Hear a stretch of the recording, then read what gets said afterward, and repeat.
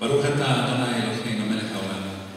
בשם אלוהי ישוע המשיח לדבר רוח הקודש, queremos oír tu preciosa voz, bendito Ruach HaKodesh, no la voz del hombre.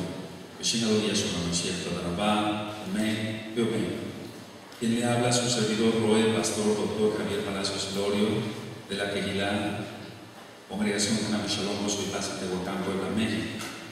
Invitamos de parte de todos a visitar la página de internet www.gozoypaz.mx. Usted encontrará videos, audios y apuntes que puede usted bajar, copiar y regalar con toda confianza. Nosotros aquí no hacemos negocio con la palabra de nuestro Elohim, Yahweh es su nombre. Apocalipsis, capítulo 2.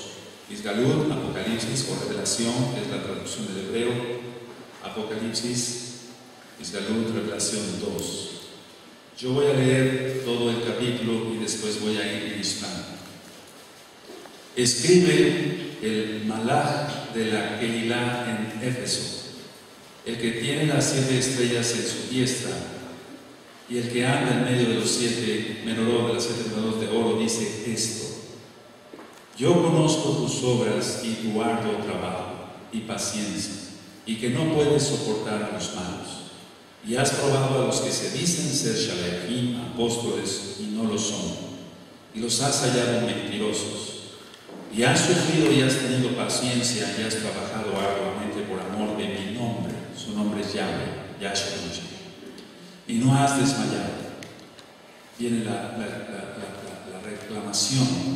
Pero tengo contra ti que has dejado tu primer amor. Recuerda por tanto de dónde has caído y arrepiéntete y haz las primeras obras. Pues no, vendré pronto a ti y quitaré tu menorá de su lugar si no te hubieres arrepentido. Pero tienes esto, que aborreces las obras de los nicolaitas, las cuales yo también aborrezco. El que tiene oído, oiga lo que el Ruach dice a las Geirot. Al que venciere, daré a comer del árbol de la vida, el cual está en medio del paraíso de Elohim y escribe el malak de la Keilah en Esmirna. El primero y el postrero, el que estuvo muerto y vivió, dice esto.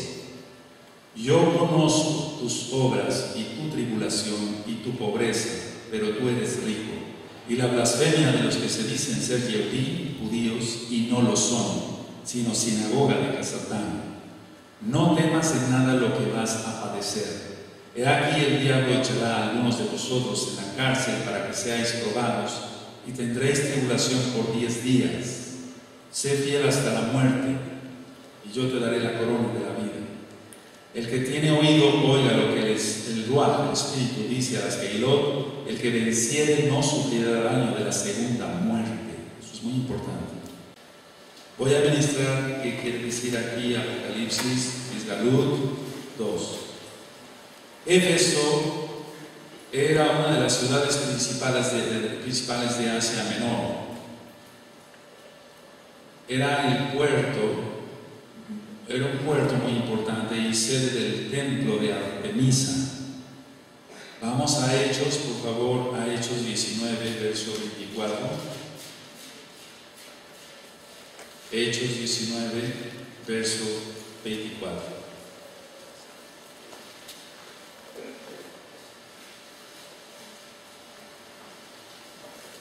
Porque un platero llamado Demetrio que hacía de plata templecillos de Diana, ahí está, daba no poca ganancia a los artífices. Este templo era una de las siete maravillas del mundo antiguo, nombrado por el hombre.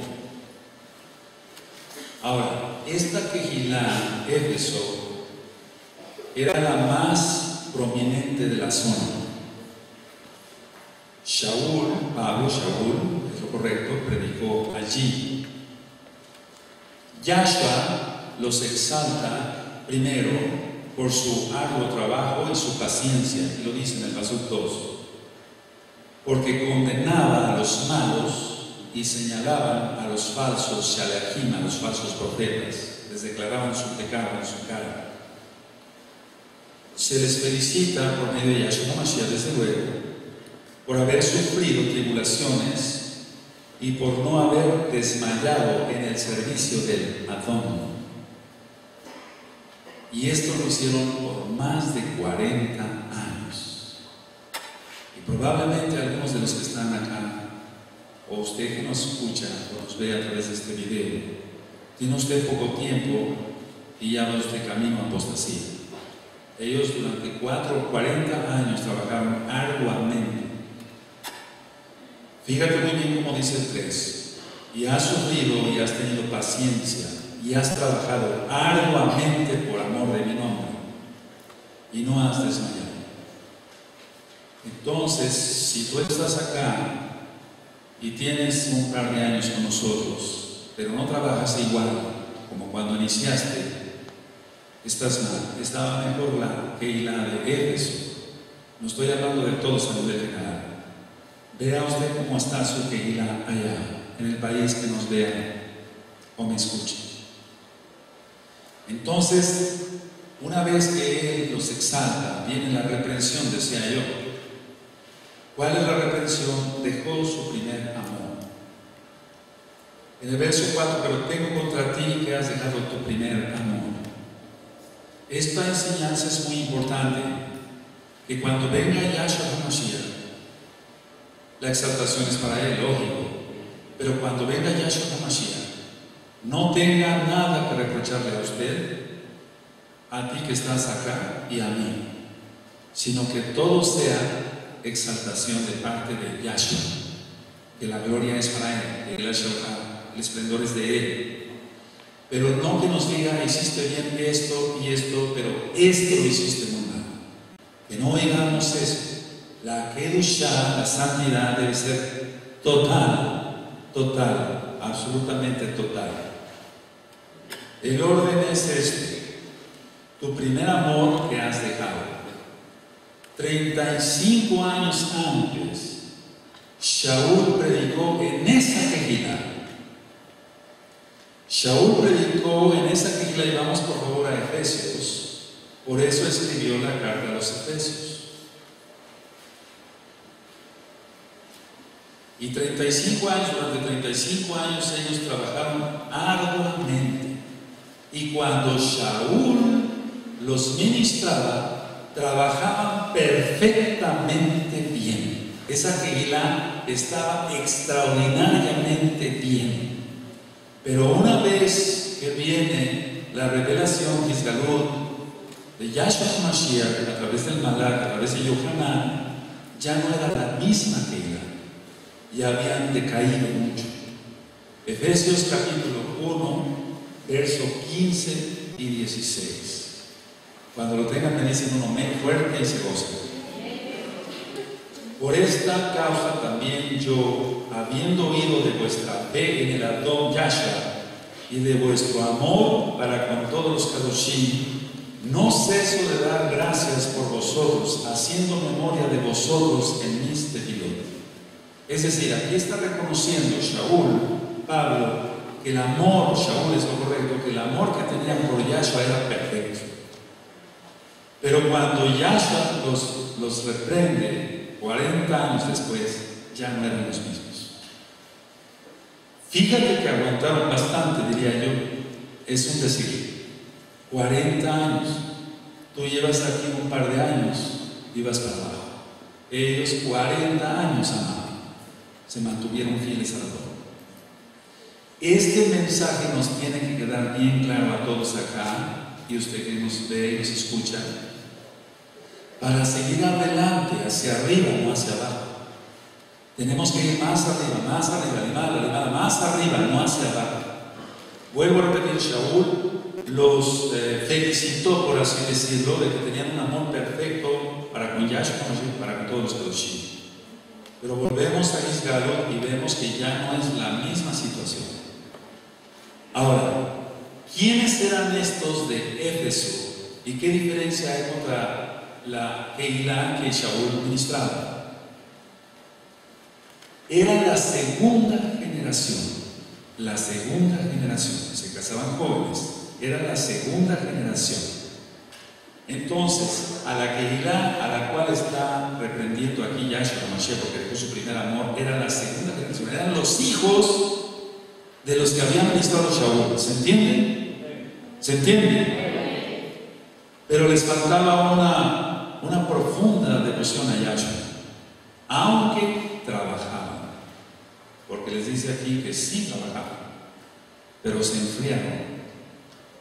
Ahora, estamos hablando aquí que si eran los hijos, entonces vuelvo a repetir, era la segunda generación. Aquí no ha pasado una generación, hermano. Empecé a administrar la Torah en el 2006. Fíjate lo grave del asunto. Por lo tanto, son señales de que Yahshua Mashiach viene pronto por apostasía. 2006 Romanos, estoy hablando de 2006 Romanos 6, 7, 8, 9, 10, 5 años nada más. No ha pasado una generación, amado, y muchos se apostataron. ¿Te das cuenta de la gravedad? La Keilah de Éfeso estaba mucho, mucho, mucho, mucho, mucho más alta que esta. Muchísimo más. Y Yahshua viene pronto. Nosotros no podemos seguir al paso que vamos, tenemos que ser mejor. Ciertamente usted que me ve a través de este video y me escucha a través de este audio, no todos aquí son pecadores, hay muchos kadoshim, hay muchos santos para que se entienda, muchos aquí, muchos justos, muchos que amamos a Yahweh con todo nuestro corazón, nuestra alma, nuestra fuerza, nuestra mente. Pero también está escrito que Yahshua Mashiach dijo que había trigo y cizaña y eso no lo podemos solamente hasta que Él venga. Bendito es Él. Entonces, aquí está reprendiendo los de la segunda generación y nosotros, vuelvo a repetir porque ni una generación ha pasado y ya muchos apostataron. Necesitamos que escuchar la misma advertencia que le dio a Éfeso, necesitamos eso. Escuchar la misma advertencia. Esto hoy es para ti, para ti, para todos acá, para mí que no dejemos nuestro primer amor. Que así tú cuando te pusiste por primera vez el talit, así aún mejor. Cuando recibiste el tevilá, inmersión en agua, conocido como bautizo, pero lo correcto es tevilá, aún mejor todavía. Que cuando pisaste por primera vez desde Keila y te enamoraste no de la Keila, sino de Yahshua Mashiach, aún mejor todavía. La misma advertencia tenemos que escuchar todos hoy. Aleluya. Aleluya. Yahshua Mashiach no quiere religiosidad ni monotonía. Él lo que pide es el corazón, Él lo que pide son tus manos, Él lo que pide es el servicio de tus pies, Él pide todo. Ahora, se le recuerda de dónde ha caído. Fíjate muy bien el paso 5. Recuerda, por, tanto, de dónde has caído. ¿De dónde te sacó a ti, amado, amada Yahshua Mashiach? ¿De dónde me sacó a mí? Que recordemos eso, que no se nos olvide que no nos creamos los grandes adiquín, ni los grandes cajamín, que recordemos de dónde, la basura de dónde nos sacó. Aquí el Eterno está, le está recordando eso a Éfeso, Yahshua, a Mashiach, le está recordando eso a Éfeso. Recuerda por tanto de dónde has caído. Y le dice, y arrepiéntete. Aleluya. Es Yahshua ministrando directamente. Y haz las primeras obras. Así como venías antes con el gozo de Shabbat, aún todavía mejor tiene que ser mejor todavía. Amén. Ahora, se le invita a que haga teshuvah, a que haga arrepentimiento, igual a nosotros.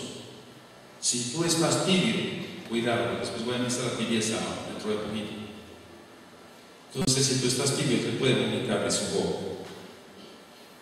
Él pide, Yahshua pide, usted tiene el, audio de Matillar o de Mateo en esta misma página de internet, él pide todo. Él pide que dejes totalmente de amar más a tus familiares que a Él. O sea, que lo ames a Él con todo tu corazón, que ames a Yahshua con todo tu corazón, tu alma, tu fuerza, tu mente. El amor mayor debe ser hacia Él, no hacia los familiares. Por eso dice que no aborrece a su padre, madre, hermanos, hermanas, hijos e hijas. Está haciendo una declaración acá que se tiene que arrepentir de sus pecados mayor debe de ser, escuchen bien, mayor debe de ser el amor a Yahshua el amor que le tengas a tu cónyuge, a tu esposa, a tu esposo. Vamos a 1 de Corintios, capítulo 7, 1 de Corintios, aleluya. 1 de Corintios 7, 32 al 35. En 1 de Corintios capítulo 7, verso 32 al 35, dice lo siguiente, quisiera pues que estuvieseis sin congoja, el soltero tenga cuidado de las cosas del Adón, de cómo agradar al Adón, pero el casado tiene cuidado de las cosas del mundo, de cómo agradar a su mujer.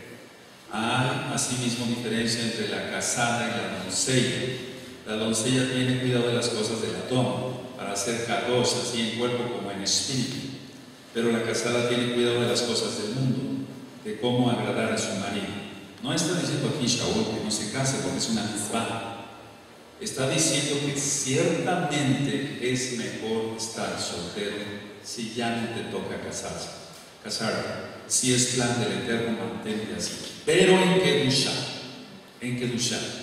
Tanto para ti varón como para ti Eso. Entonces el amor que se tiene que tener a Yahshua debe ser mayor que le, que le tengas a tu esposa, a tu esposo. Ahora, la advertencia es esta, de no hacerlo, de no hacer arrepentimiento, quitaría la menorá. Dice el 5, recuerda por tanto de donde has caído y arrepiéntete. Y haz las primeras obras, pues si no, vendré pronto a ti y quitaré tu menorá de su lugar si no te hubieras arrepentido. Pero el quitar la menorá no es tanto que quite una menorá como la que tenemos acá, sino la salvación, aunque algunos no lo creen, a nivel mundial. La Torah viviente Yahshua Mashiach está decodificado su nombre en la menorá, en la letra Shin de Yahshua. Entonces, el que se ha quitado Yahshua, que es la Torah viviente, es estar perdido en el infierno. Ahora, ¿quiénes eran los Nicolaitas? Era una secta y toda secta enseña cosas agregadas, cosas erróneas, cosas horribles hacia los Nicolaitas.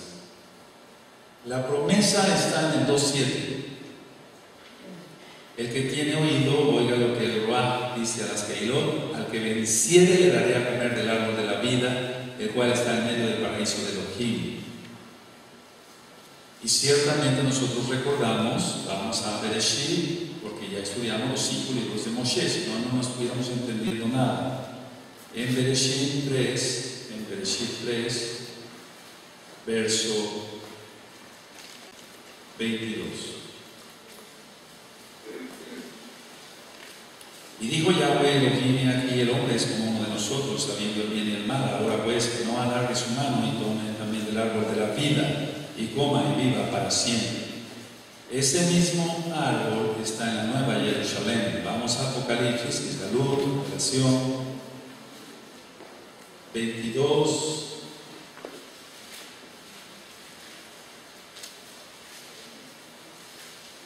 Aleluya. 2, 22, 2. Cuando lleguemos a ese capítulo lo estaremos con más cuidado, más más bien. En medio de la calle de la ciudad y a uno y a otro lado del río estaba el árbol de la vida que produce 12 frutos. Voy a ministrar después. Dando cada mes su fruto y las hojas del árbol eran para la sanidad de las naciones. Eso lo voy a ministrar después. Ahora, vamos otra vez a Apocalipsis, capítulo 2, y viene el mensaje a la Keilah de Esmirna. Eso ya lo leímos. Esmirna era una ciudad grande y rica a 55 kilómetros al norte de Éfeso, que estaba sobre la misma zona. Y Yahshua Mashiach se describe a sí mismo como el primero y el postrero, que estuvo muerto y vivió. Aleluya. Se llama Esmirna porque se producía mucha mirra para hacer perfumes. Ellos estaban padeciendo los primeros Meshichim, que aquí es importante aclarar que eran seguidores de Mashiach, no cristianos. Eso fue un invento después. Meshichim, seguidores de Mashiach. Estaban ellos padeciendo persecuciones y ellos estaban padeciendo ciertamente mucho, pero perseveraban ¿Cuántas veces alguien no sufre algo y deja de venir a la quejila? Ellos padecían realmente persecución, hasta muerte. Su testimonio era entonces agradable como perfume que sube al Shamaim. Ahora, Yahshua conocía sus obras, su tribulación y su pobreza, y lo dice. Sin embargo, a pesar de que eran pobres y padecían tribulaciones, Él les dijo que eran ricos. Aleluya. Eso nos diga a nosotros. Amén. Aleluya. Ahora, cuando dice este paso ha sido muy mal manejado para hablar siempre mal del pueblo yehudí y maldecirse más. Cuando dice, yo conozco en el 9 tus obras y tu tribulación y tu pobreza, pero tú eres rigo y la blasfemia de los que se dicen ser Yehudí. No está hablando aquí de la casa de Israel, que está volviendo los pies de Yahweh, creyendo en Yahshua Mashiach y abrazando la bendita Torah. Dice, y no lo son sino sinagoga de Satanás, porque a usted le van a acusar de decir, ah, estás yendo a esa Keilah. Mira, no son judíos, sino es una sinagoga de Satanás. No, no, no, no se está refiriendo a eso. Realmente eran Yehudim, eran judíos, pero no guardaban bien el Torah. Entonces, alguien que se dice ser judío y no lo es, es aquel que sí lo es sangre, pero no está guardando la Torah. No se está refiriendo a la casa de Israel como tal. Así que esa, esa situación no es para usted, hermano. No es para usted. Cuando se dice de los que se dicen ser israelitas, pero o judíos y no lo son, no se está refiriendo así tal como la sangre, no, de los que se dicen ser israelíes y no cumplen con la Torah. Entonces el mensaje va tanto primeramente a casa de Judá, que estaban ahí, y a casa de Israel. Tú no eres copia de Israel, te lo he dicho. Tú no eres copia de Israel, eres Israel. Aleluya. Pues por lo tanto te tienes que comportar como un de Israel. La reprensión aquí para Esmirna no la hay. No hay reprensión. No la hay. Todo es exaltación. Esta regla estaba perfecta. Aleluya. ¿Y nosotros? ¿Y nosotros? ¿Cómo estamos? No hay reprensión. Aleluya. Ahora, lo que sí hay una exhortación, que es muy diferente a la reprensión. La exhortación es no temas en nada lo que has de padecer. Van a ser probados por la tribulación por 10 días. Y está en el libro de Daniel 1.12, que siempre 10 días son de prueba. Ahora, ¿por qué, o más bien para qué sufrir? Tiene una pregunta, porque aquí ya solo le está diciendo mucho sobre el sufrimiento. Número uno, se sufre para disciplina. Se sufre para disciplina. Y vamos a 1 de Corintios, por favor, rápidamente, el capítulo 11 y el verso 30. Se sufre para disciplina. 1 Corintios 11, 30 a 32. Cuando se toma pesa, que por cierto ya viene prontamente, se tiene que tomar con todas las características, con todos los grupos más bien que Yahweh nos demanda. Para los varones, el Shah la milá, el pacto que ya hizo con Abraham, que no es discutible si la gente se circuncida o no, se tiene que circuncidar en el corazón y en la carne, porque eso marca la Torah. Eso no es motivo de discusión. Las mujeres en Kedusha, pero cuando la persona toma pesa de una manera incorrecta, entonces viene lo siguiente, es 1 Corintios 11, verso 30, por lo cual hay muchos enfermos y debilitados entre vosotros pero lo peor, y muchos duermen, mueren. Esa es la traducción. En el cristianismo se le, ha querido dar otro enfoque, pero no es así. Muchos se enferman por tomar pesa de una manera que no es la correcta. Y muchos hasta se mueren. Si pues nos examinásemos a nosotros mismos, dice 31, no seríamos juzgados. Entonces primero examinamos cómo estamos para no ser juzgados por Yahshua, Mashiach. Examínate cómo estás guardando el Shabbat, cómo estás guardando las fiestas, cómo guardas tus ojos, cómo guardas tus manos, cómo manejas tus finanzas. Dice el 32, más siendo juzgados, somos castigados por el Adón. para que no seamos condenados con el mundo. Entonces por eso el Eterno te pone en disciplina, para que no te pierdas en el infierno. Pero muchos con una primera llamada de atención tuercen la boca, etcétera, taconean las mujeres, se van eh, enojados o enojadas porque se les pone una disciplina. Esa es una tontería. Tenemos que soportar las disciplinas que nos ponga Yeshua Mashiach. Bien directamente o a través del ROE o a través de Shabiak, etc. Ahora, se, se sufre como prevención para no caer en orgullo. Y por eso está en aguijón, vamos a segunda de Corintios, entonces se sufre como prevención para no poder caer en orgullo. Segunda de Corintios, capítulo 12, verso 7. Segunda de Corintios 12, verso 7. Y para que la grandeza de las revelaciones no me exaltase desmedidamente, me fue dado un aguijón en mi carne, dice Shaul, un mensajero de Casatán que me abofeté para que no me enaltezca sobre la manera. Él tuvo un aguijón y por todos los estudios que se han hecho fue muy seguro una enfermedad en los ojos porque en una de sus cartas dice, miren con cuán gran letras les escribo, le costaba trabajo, entonces escribía grande para ver. Y en otra carta los Corintios les dice, ustedes me aman tanto que hubieran querido quitarse sus ojos para dármelos. Entonces la conclusión es de que el aguijón está en la vista. Ya eso Mashiach nos prueba a cada uno. Entonces la manera de ponernos en disciplina como prevención para no enorgullecer, que la persona no caiga en orgullo de la unción que tenga de Dios. Número 3. Con, la, con, con el sufrimiento aprendemos la obediencia. Aprendemos la obediencia. Vamos a Hechos 9, verso 16. Hechos 9, verso 16. Entonces ciertamente sufrimos y aprendemos entonces obediencia. Aleluya. No le dejamos otro camino a la Roma a veces. Es Hechos, capítulo 9, verso 16. Porque yo le mostraré cuánto le es necesario padecer por mi nombre. Es decir, cuando fue llamado Shaul, cuando fue llamado Shaul para que ministrara la Torah, porque yo le mostraré cuánto le es necesario padecer por mi nombre. Entonces, por lo tanto, mejor portarnos bien de esa manera la persona cuando es en, disciplina, ciertamente la persona va a dar un mejor testimonio de lo que da. Vamos otra vez a Apocalipsis, capítulo 2, y aquí en el, capítulo 2 viene la promesa que hace a Esmirna. Aleluya.